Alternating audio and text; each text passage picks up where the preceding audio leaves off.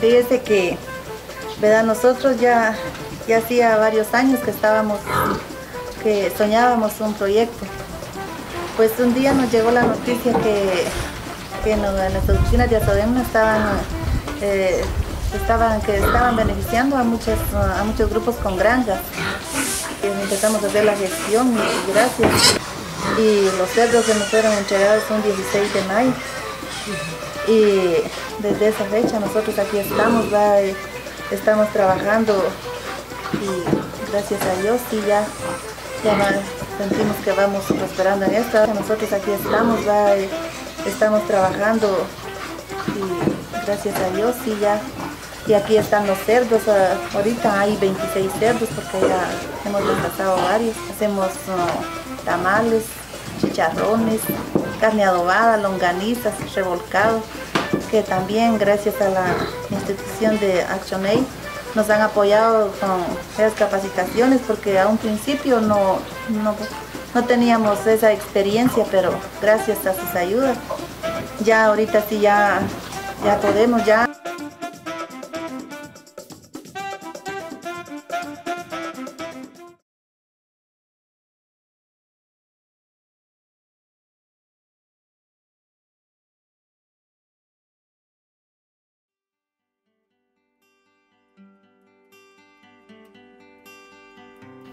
Bueno, yo soy, mi nombre es María de la Cruz Ramírez Vázquez, este, de acá de Caserío Ciénaga. Este, tenemos una granja acá, ¿verdad? De, que se llama Granja Las Rosas. Somos 20, 20 del grupo, ¿verdad? Que estamos asociados en la granja. Somos este, 16 mujeres y 4 hombres. Este, entonces mm, tenemos ahí, ¿verdad? la pena de, de cuidarlos, de mm, atenderlas, de ver que estén bien. De Ayoné, he recibido, pienso, es un gran proyecto, este va, lo que hemos recibido son las gallinas y las instalaciones de lo que es techo, ¿verdad? El blog. Todo lo que nos han dado, las capacitaciones. Bueno, de cómo atender la, la granja, que ha sido en Pinula. Allá hemos ido a la universidad, no sé cómo le dicen, ahí se me olvida. Y luego este, a la semana sacamos un promedio de 200, 2.200 huevos.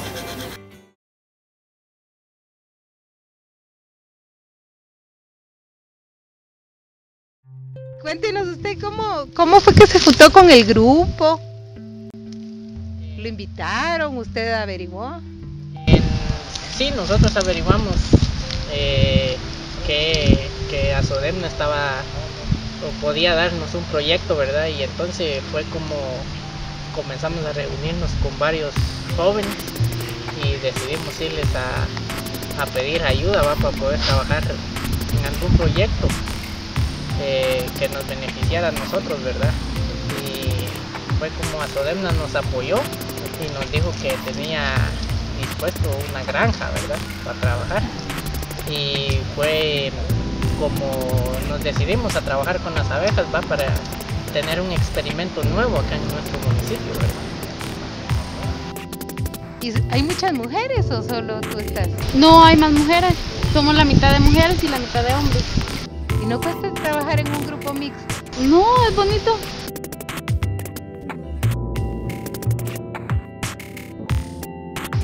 Ahorita nuevamente ya Sodena con eh, una solicitud que hicimos juntamente con el CNE, nos apoyaron, nos han dado la capacitación, fuimos a la universidad para aprender más, gracias a ellos nos han apoyado, nos dieron el material, nos dieron hilo, nos dieron ser estampada, nos dieron marcos, otras tres cajas más, tres colmenas.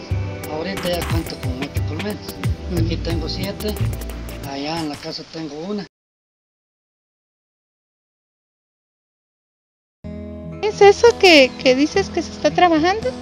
Son hortalizas, hortalizas que está trabajando el, el grupo de mujeres. Ah, o sea, junto con la granja de Junto pollos. Es- Están trabajando diversas hortalizas. Hay cebolla, hay rábano, hay cilantro, tienen sembrado acelga. Ujú. También más allá abajo hay un, un vivero. Un vivero de pino, de aliso. Abajo. Eso es para reforestación. Eso es para reforestar. ¿Y esta, este terreno de quién es, Irma? Este terreno es eh, de una de las socias de, de la granja La Esperanza. Entonces en un lado tienen el galpón, la granja, y en este otro lado tienen los cultivos.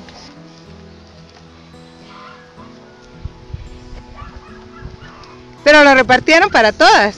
Sí, para todas. Ah, qué bueno. ¿Y aquí los rábanos se consiguen en el mercado o es difícil? Sí hay. Pero está bien bonito el... ¿Y el huerto? ¿Y allá qué tienen abajo, Irma? Sí.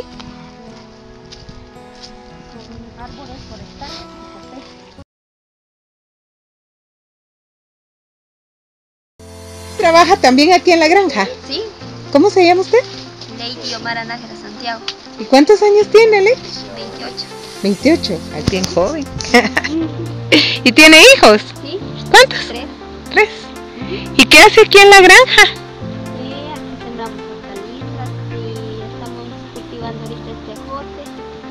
Este que están escogiendo ahí. Ah,